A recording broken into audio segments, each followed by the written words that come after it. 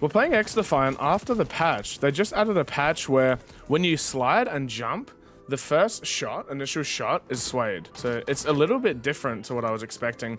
I can't tell if the guns have been debuffed or buffed. It's it's a bit all over the place for me. It could honestly just be me though. I haven't played this in a little bit. There's one kill. Oh, man. So I haven't been playing this as much as I'd like to be, but I do have the P90 Max now, and it just looks beautiful. I'll show that here. There it is. Oh, man. It looks so good. I love it. I love it so much. So now we're working on... Well, technically I'm working on the MP7, but I'm also working on the AK and the M4 at the same time. The MP7, from what I can tell, it, it has been decreased slightly in damage, but not really as noticeable as I thought. Oh, here we go. Ah, uh, what? All right, let's just try the MP7, honestly, for the rest of this round. Chuck a grenade over there. One. Man, I'm so out of practice. I don't know about you guys, but I have one game. There's always one game that I might play off stream, off of YouTube, off of making content, just for fun for myself. It's a very healthy balance. You got to have a game. You got to have something that you do off of like stream or for creative means. You just play for fun.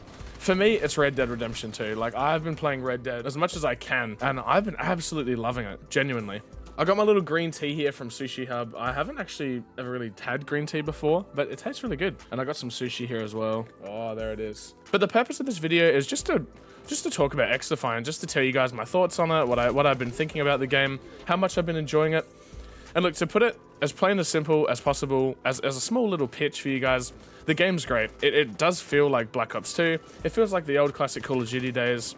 But there's just the only gripe I have with it at the moment, and the issue, I suppose, is I don't want them to over update this. See, there's a problem with Call of Duties these days where they get over updated, and if they over update XDefiant, I'm worried that the games are going to become pretty much unplayable, and that would suck. That is something that's happened before, and I just I just know it's going to happen. So let's hope that they don't do that, and that they keep XDefiant going because it's such a good game. We desperately need new maps in this game. New weapons, not so much, but we desperately need new maps. I feel like I'm playing a tech demo. It's just been the same thing over and over and over again. I don't know, My go-to this year, but we're just gonna slowly see throughout the course of the year how this game progresses, if it gets any better, if it gets any worse. I'm getting destroyed right now. What if I snipe? Maybe I should do some sniping for a bit. But apart from that, the game is just, yeah, it's fantastic. It's a great game. It's got great time to kill. I just don't want them to screw with it. If they start like moving things around, uh, it's, it's gonna be a problem.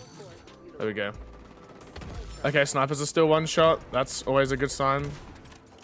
As long as you hit them. Ah, oh, oh wait. One. Oh, here we go.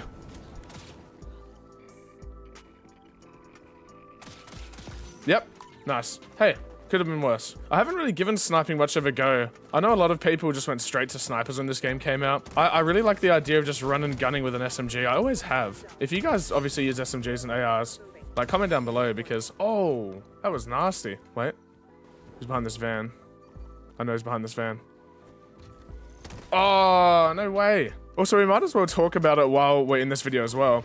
You're probably wondering, Jed, why aren't you using a mouse and keyboard? Why the hell are you using a controller? Well, I originally started playing like FPS games on controller, um, on my PS3, which I've talked about before uh, back in the day, and also PS4 as well, heavily. A lot of Black Ops 4 on controller. I don't know, it's something about using a controller with these types of games that takes me back, and it, it makes me more feel like I'm in the zone. So hence why I've been just really enjoying using a controller for this stuff. Wait. Wait, wait, wait. Oh my god, no way.